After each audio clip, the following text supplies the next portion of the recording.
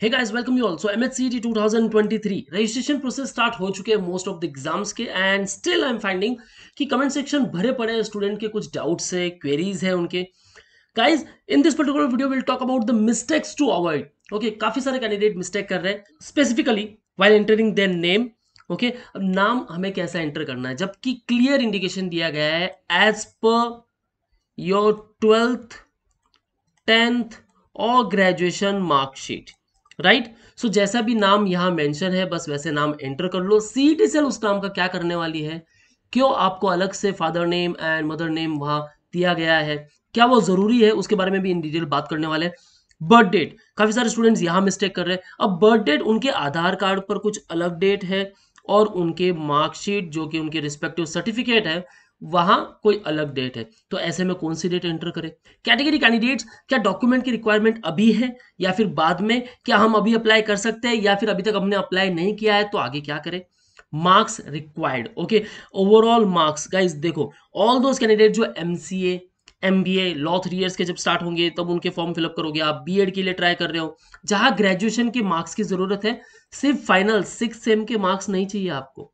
आपको aggregate marks चाहिए। First sem में कितना मिला है? Second third fourth fifth and six total करो। Total marks obtain marks percentage automatically calculate कर लेगा। ओके सो परसेंटेज आपको वहाँ मेंशन करना है। सीजीपीए को लेकर क्या करना है? नाउ अगर सर्टिफिकेट पे ओवरऑल सीजीपीए मेंशन है लाइक 7.88 यूनिवर्सिटी का फॉर्मूला अप्लाई करो।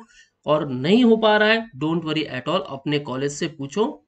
फॉर द कन्वर्जन सर्टिफिकेट जिसकी रिक्वायरमेंट आपको कैप राउंड में भी रहने वाली है एंड द डॉक्यूमेंट्स रिक्वायर्ड क्या क्या डॉक्यूमेंट्स लगने वाले सो इन डिटेल बात करेंगे इंपॉर्टेंट डॉक्यूमेंट्स के बारे में भी and and which are the mistakes to avoid so stay tuned with me throughout this video and before moving further guys we have launched the batches for all CET exams such as Maharashtra MBA CET, MCA, Law 3 years, 5 years, B.Ed CET and ELCT.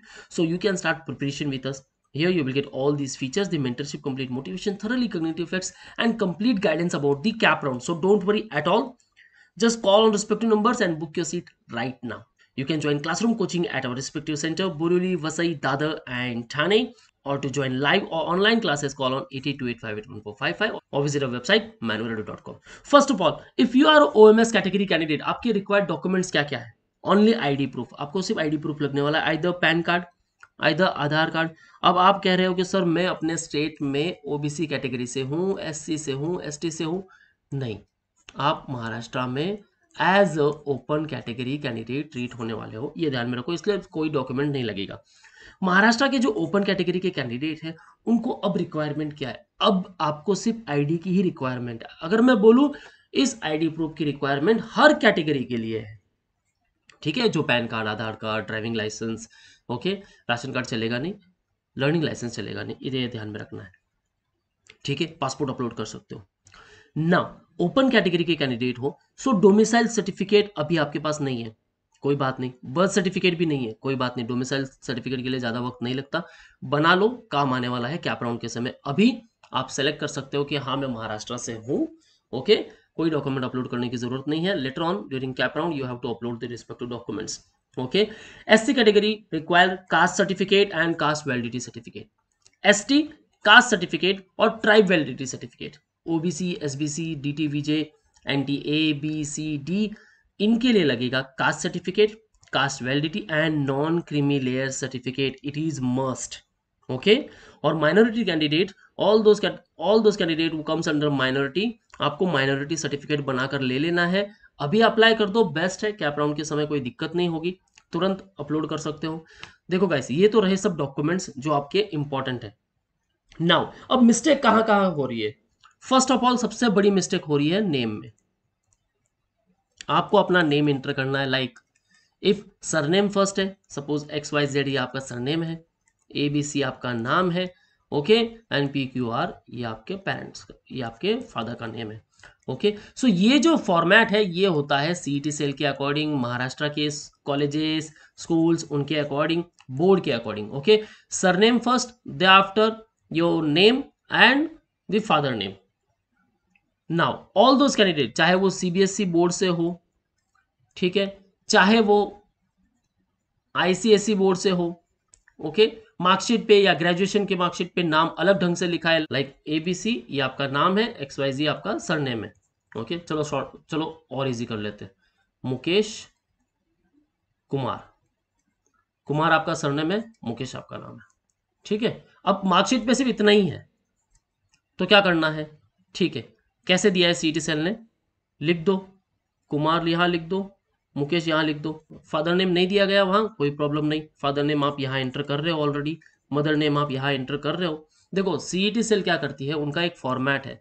वो ऐसे ही चलेंगे। पहले surname Kumar, फिर आपका नाम होगा मुकेश, ताकि जब एप्लीकेशन फॉर्म होगा या फिर आप कैपराउंड के समय भी जब अप्लाई करोगे ओके तो ऑलरेडी अगर मिस्टेक भी होती है तो आप उसको चेंज कर सकते हो don't worry at all so अभी आप सिर्फ़ मार्कशीट पे फोकस करो कि कैसे नाम लिखा हुआ वैसे नाम एंटर कर दो that's it okay so surname name and उसके बाद समझ लो, रमेश उनके पापा का नाम है, मुकेश के। ठीक है? इस तरीके से ही आपका रिज़ल्ट बनने वाला है। जो कोई पर्टिकुलर प्रोग्राम आप परस्यू कर रहे हो। जब मार्कशीट मिलेगी तो आपका ऐसा ही नाम मेंशन होगा। ओके सो नाम को लेकर गड़बड़ मत करो यार। अब काफ़ी सारे स्टूडेंट्स हैं। लाइक बोल रहे कि यार, मुकेश था, मैंने नुकेश कर दिया। अब ये तो आपकी मिस्टेक हो गई यार। अब आप उसको एडिट नहीं कर सकते। So after payment you can't edit anything okay so अब एडिटिंग विंडो कोई स्टार्ट नहीं होने वाली है। हाँ कैप राउंड के समय जो भी मिस्टेक है, आप उसको सुधार सकते हो। ठीक है? दूसरी सबसे बड़ी मिस्टेक आधार कार्ड पर नेम अलग है मार्कशीट पर नाम अलग है। क्या फॉलो करें? मार्कशीट ओके आधार कार्ड के ऊपर नेम अलग है इट्स ओके आधार कार्ड पर बर्थ डेट अलग है मार्कशीट पर बर्थ डेट अलग है। किसे फॉलो करना है? मार्कशीट ठीक है? आधार कार्ड पे अगर ये गलत है अपडेट करा लो गैस ओके जब एडमिट कार्ड मिलेगा, एक आईडी आपको कैरी करना है साथ में, ठीक है? फ़ोटो भी स्टिक करना है so recent passport size photo ही अपलोड करो, यहाँ आईडी की ज़रूरत पड़ेगी, ठीक है? थर्ड मिस्टेक नाम अब चेंज हो चुका है after marriage all the girl candidate ठीक है? जिनके भी नाम अब चेंज हो चुके हैं, आपको क्या करना है? एज पर मार्कशीट सिर्फ़ मार्कशीट को ही फॉलो करना है। अभी जो भी रिस्पेक्टिव डॉक्यूमेंट आपने बनाया है मैरिज सर्टिफिकेट है that's okay great Aadhaar card पे नाम अलग है सरनेम चेंज हो चुका है, कोई प्रॉब्लम नहीं, ठीक है? कैरी कर सकते हो, ठीक है? ये रिस्पेक्टिव डॉक्यूमेंट कैरी कर सकते हो एग्ज़ाम के समय, कोई आपको रोकेगा नहीं। नाउ कैटेगरी कैंडिडेट क्या करना है? डॉक्यूमेंट्स कब अपलोड करना है, ठीक है? देखो, अगर आपके पास डॉक्यूमेंट्स अवेलेबल है, ठीक है? तो अवेलेबल पर क्लिक कर दो। अभी नहीं है, आपने अप्लाइड किया है तो अप्लाइड पर क्लिक कर दो और अप्लाइड पर क्लिक करने के बाद बट नॉट रिसीव पर क्लिक कर दो। अब यहाँ क्लिक करोगे तो आपको application date okay and caste certificate number okay जो भी रिस्पेक्टिव कास्ट है आपकी, उसके उसके जो सर्टिफिकेट है, उसके ऊपर नंबर मेंशन किया गया, काफ़ी बड़ा नंबर है, ठीक है, वो नंबर आपको एंटर कर देना है। और नॉट अप्लाइड सिंपल सा लिख दो नॉट अप्लाइड तो नॉट अप्लाइड क्लिक करोगे तो मतलब ओपन कैटेगरी के थ्रू फॉर्म फिलअप हुआ है अभी। लेकिन जब कैप राउंड के समय आप फॉर्म फिल करोगे तो उस समय अपने रिस्पेक्टिव डॉक्यूमेंट सबमिट कर सकते हो और कैटेगरी के थ्रू आप फॉर्म भर सकते हो। काफ़ी सारे स्टूडेंट पूछ रहे थे कि अभी मैं ओ एम एस कैटेगरी से हूँ कैप राउंड में मैं ओपन कैटेगरी का हो सकता हूँ कि अगर मेरे पास डोमिसाइल होगा? यस गाइस हो सकता है। अगर आप अभी ओ एम एस के थ्रू फिल कर रहे हो, बाद में डोमिसाइल सर्टिफिकेट बन जाता है तो ओपन कैटेगरी के थ्रू भी फिल कर सकते हो। ठीक है? कैटेगरी के लिए डाउट्स क्लियर है गाइस और कुछ डाउट्स है तो कमेंट सेक्शन में ज़रूर पूछना। मैं आपके कमेंट सेक्शन में से ये सारे डाउट्स लेकर ये वीडियो बना रहा हूँ। ठीक है? अब काफ़ी सारे डाउट्स है सेंटर को लेकर। सेंटर कहाँ आएगा? ठीक है, आपके रिस्पेक्टिव स्टेट से एक सिटी आपको दी गई है। ठीक है? अब गुजरात के जो कैंडिडेट है, उनके लिए अहमदाबाद, ये सेंटर मिल चुका है। इनकेस अब आप सूरत से बिलोंग करते हो और अहमदाबाद विज़िट नहीं करना चाहते हो, कोई प्रॉब्लम नहीं गाइस महाराष्ट्र में आप मुंबई का कोई भी Mumbai as a centre choose कर लो. ओके सो देखो रिस्पेक्टिव सिटी अगर दूर है तो कोई बात नहीं. महाराष्ट्र में बहुत सारे सेंटर्स है, वो आपको चूज़ करने पड़ेंगे. और कोई अदर सेंटर्स नहीं है गाइस ओके सो जो रिस्पेक्टिव सेंटर्स आपको ड्रॉप डाउन में दिख रहे हैं, बस उसमें से कोई ना कोई आपको चूज़ करना है. ओके सो यहाँ सारे डाउट्स क्लियर है. आई होप यहाँ डाउट्स क्लियर हो गए होंगे। ओके? जो भी कैंडिडेट कैटेगरी से बिलोंग कर रहा है मेक श्योर sure उनके पास ये सारे रिस्पेक्टिव डॉक्यूमेंट्स हो।